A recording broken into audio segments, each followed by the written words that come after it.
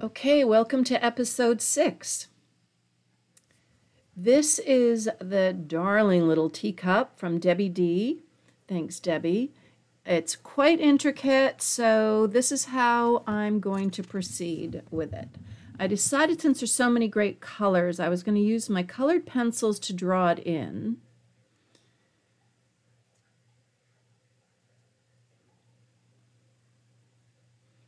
I paid closer attention to the shape of the cup since yesterday I didn't get that too too accurately.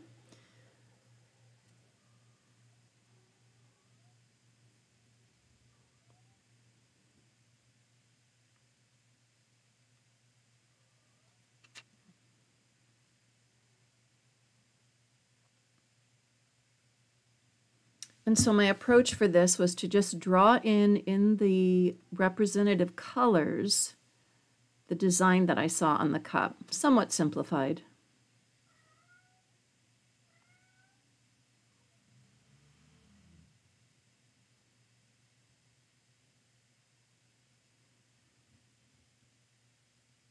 And that's a white charcoal pencil. And I tend to use that more than a white Prismacolor.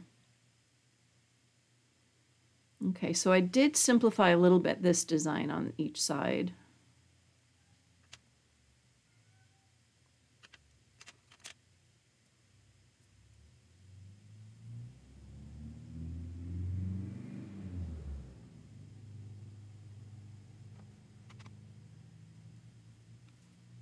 Okay, so let's start painting. My good old gouache palette and a fresh blob of white gouache. And then I'm mixing two different yellows, one which will be um, a hint of a shadow, the shading part of the yellow. So it's yellow ochre with some of the yellow in it and some white.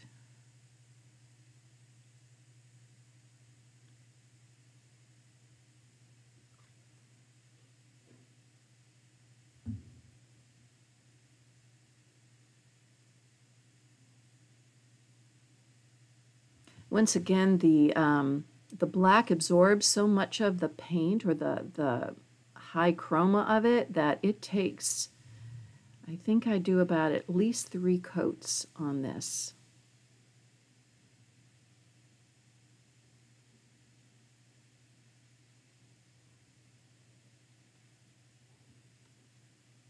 But look how that color pops on the black. How fun.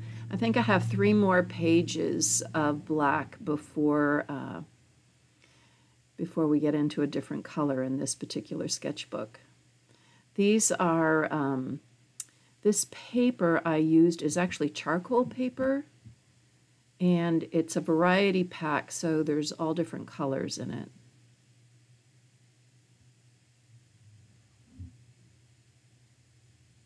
Once again, I used to love just throwing, slinging paint around, and I have really enjoyed doing some of these little detail works. Now, then again, it's a small piece, so it doesn't take as long.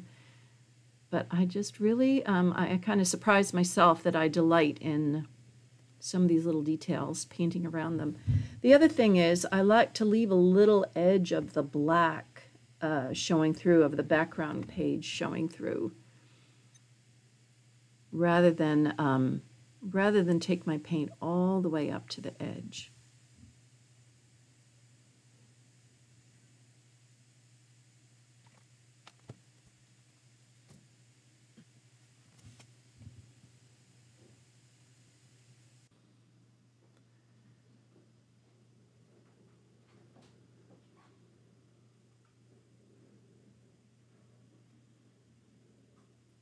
Okay, here you can see me fill in some of the other details.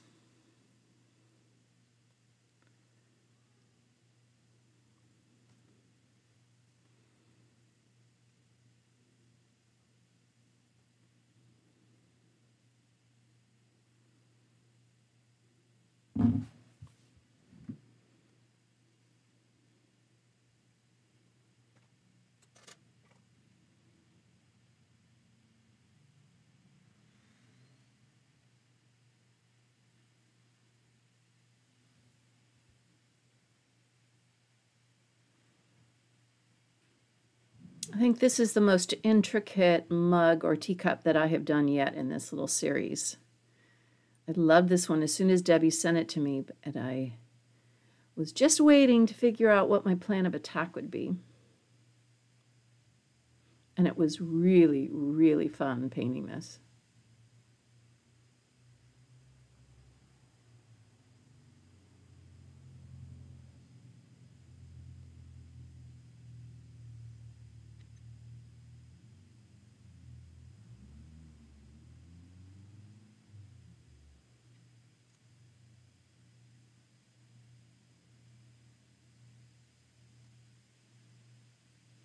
I have a new camera and it is not disappointing. I think the clarity is much better than what I was using before. So that's exciting.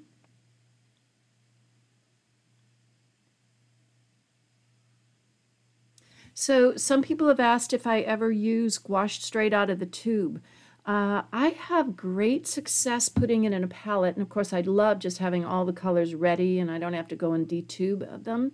So if I were going to do a very large area and needed to make up plenty of uh, paint, I would probably pull out the tubes.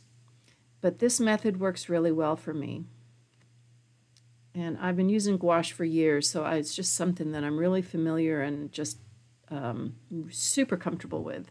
Took a while though. It's it can be somewhat of a tricky medium, but oh my gosh, just look how that creaminess goes on.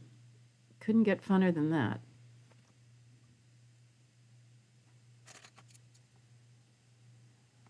Okay, so here I'm just putting the, um, just making a little color chart of all the pencils that I'm using. And actually, in a sketchbook, I just think it's so much fun to just see some of the, um, you know, to have your little color palette there. Just kind of enhances the page.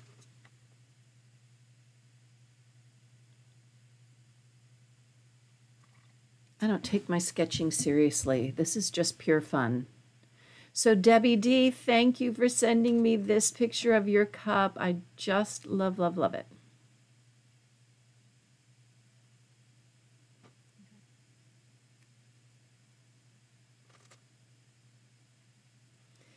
So rather than paint in the green decoration on that, I just used a pencil. It was just so much easier to just get between the yellow paint and the white paint. And then you can see gouache, kind of like acrylic, dries sometimes darker. So I added a few things. Okay, so here I tried a fine liner, didn't like it, pulled out my Fude pen and just kind of created my own little squiggle there. Once again, the beauty of mixed media. Just use the tool that will get the job done. So if you turn the Fude nib upside down, you get a really nice thin line, and I do have platinum carbon waterproof ink in there. So this was easier than just applying dots with paint.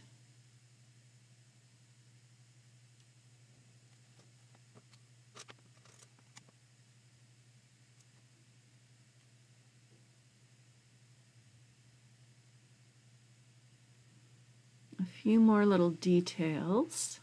And see, there I go and add another layer on top because the color just absorbs into the black and it's just the nature of gouache too. So I like to really up the colors, so I use a few coats. There you go. Oh, there's one more thing after this. There we go. I forgot these wonderful little white dots. So I took some white gouache and some of this Daler Rowney, which is essentially white gouache as well.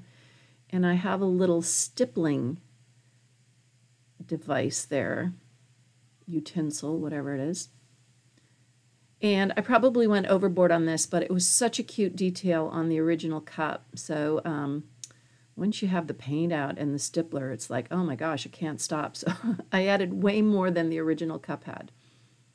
But what the heck? Yeah, these stipplers are great. There's a small end and a larger end. Well, there you have it. Episode 6. There you go. Thanks for watching.